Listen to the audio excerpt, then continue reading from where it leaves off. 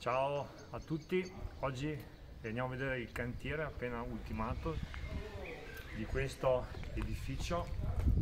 Qua con la mascherina dove abbiamo applicato il bonus facciate. Abbiamo rifatto la copertura con il sisma bonus e abbiamo strutturato la facciata con, eh, utilizzando il bonus facciate. Abbiamo applicato eh, a questa facciata ammalorata della calce naturale. Allora qui possiamo vedere la lavorazione ancora in atto del, del fondo eh, di calce e dove appunto viene messa poi la, la rete e questa è la prima parte della lavorazione con fondo di calce mentre qui è l'ultimo strato dove è il colore, la, la, la finitura con, prima di fare la, la finitura abbiamo messo la, la, rete in modo da evitare le, le cavigliature soprattutto ne, negli angoli e nei punti dove ci possono essere delle dilatazioni che vanno a inficiare l'intervento. Molto importante è stato eh, lavorare su quello che riguarda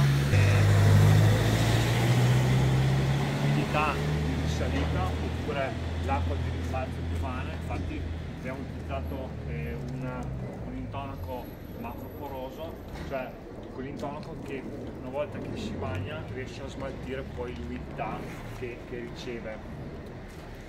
E poi anche qui andiamo a finirlo sempre con, con una calce eh, che fa da finitura. Andiamo a vedere l'effetto della parete eh, ultimata. Abbiamo visto le tre fasi, la, la prima fase quella là, che è il colore grigio, la seconda fase che è questa qui, il colore nocciola, e l'ultima fase è questa, dove si vede già, è stata, è stata, si è asciugata già la calce e vediamo che ha questo, questo aspetto eh, materico, questo aspetto che dipende molto anche dalla, da, dalla luce, dalla luminosità della, dell'ambiente esterno. E come si può vedere questo poi è l'effetto dell'edificio finito appunto un colore, un colore, eh, un colore tenue, okay? non un colore omogeneo come siamo abituati a vedere di solito nei edifici. Siamo in centro storico, abbiamo cercato di utilizzare questo colore in modo da contestualizzarlo alla, alla via e al centro nel quale siamo.